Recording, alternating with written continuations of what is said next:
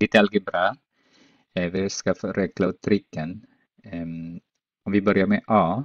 Om det är svårt för dig att hantera X eller Y eller A eller Y, du kan nämna dem på annat sätt. Min elev till exempel tänker att den här är en apelsin, är därmed en apelsin, är därmed en apelsin, så har man tre apelsiner.